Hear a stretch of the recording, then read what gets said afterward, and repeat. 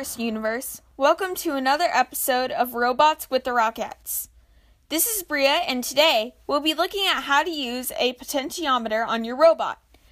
These are used a lot in FRC to measure the positions of things like arms or anything that has a pivot point.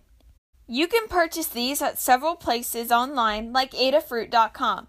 We purchased a bag of them on eBay for a couple of dollars.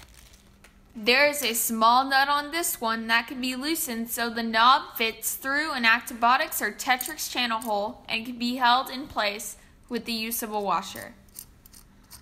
Ours rotates 300 degrees, but we've seen some that rotate up to 10 turns.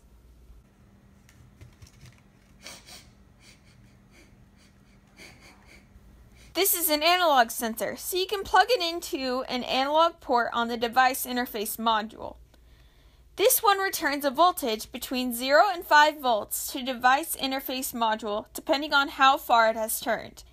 On this one, all the way clockwise is 0 volts, and all the way counterclockwise is 5 volts. It plugs in easily, but you'll need to look closely at the device interface module and sensor pins to see how to wire it correctly. We have a bundle of wire we got from Adafruit for putting things together. On the device interface modules, the ground wire goes on the right while the 5 volt output goes in the middle and the signal on the left. On the potentiometer, the signal and 5 volt pins are switched. Unlike the distance sensor we looked at in the last episode, the relationship between rotation and voltage is linear, which means it is easy to program. We declare our hardware right here, and this is um, declared by how we named it on the phone and configured it, which is potentiometer. And then we read our voltage um, from our results.